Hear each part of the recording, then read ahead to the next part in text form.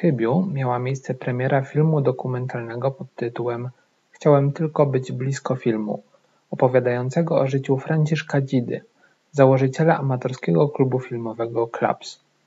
Obraz wyreżyserował Zbigniew Wróbel, który w ubiegłym roku powrócił do Chybia po ponad 25 latach spędzonych za oceanem i postanowił wraz z Klapsem przypomnieć sylwetkę twórcy tej organizacji. Wstąpiłem w latach 80. No i pamiętam te lata, kiedy pracowałem z Frankiem. Tutaj bywałem w klubie, ale pracowałem również na Politechnice jako fotograf właśnie w, tym, yy, w tej yy, w tym studio, w którym Franek założył, czyli był, yy, była ciemna fotograficzna, dział fotografii, a Franek zrobił również dział wideo, czyli produkcja wideo, filmy po prostu promocyjne i razem pracowaliśmy przez kilka lat. Ta sytuacja historyczna, jeżeli chodzi, nie wszystko oczywiście pamiętam, ale w momencie, kiedy zacząłem realizować, zacząłem właśnie docierać do tych, do tych faktów historycznych, no i to też było dla mnie duże zaskoczenie, a jednocześnie no, no po prostu odkrywałem na nowo pewną historię Klapsa, które po prostu nie znałem. No, Klaps działa już od no, 69 roku, więc ponad 40 lat. I wydaje się, że taki film no, był potrzebny temu klubowi amatorskiemu, no bo był zresztą omawiana w filmie produkcja Krzysztofa Kieszowskiego, Amator, która w jakiś sposób opowiada o Franciszku Dzidzie, ale no, taka produkcja dokumentalna chyba była potrzebna. Oczywiście, e, oprócz tego, że osobą, główną osobą napędzającą cały ten AKF Club był Franek. E, znamy jego zasługi, jego osiągnięcia, był artystą, e, zdobył prawie przeszło 80 filmów.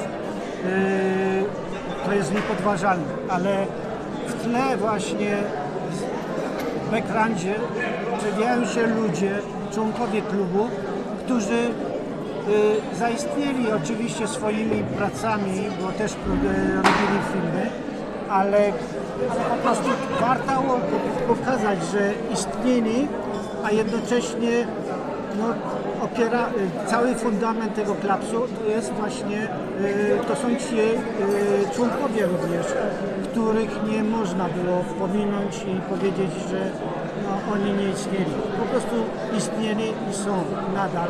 No i Oczywiście się zaczyna to wszystko rozwijać, a jednocześnie ten, ten przedział wiekowy zaczyna się po prostu rozrastać, czyli starsi są i są młodsi, młodzi, którzy tutaj nabywają, przybywają do klapsa, no i zaczynają swoją edukację filmową, no tak jak ja zaczynałem.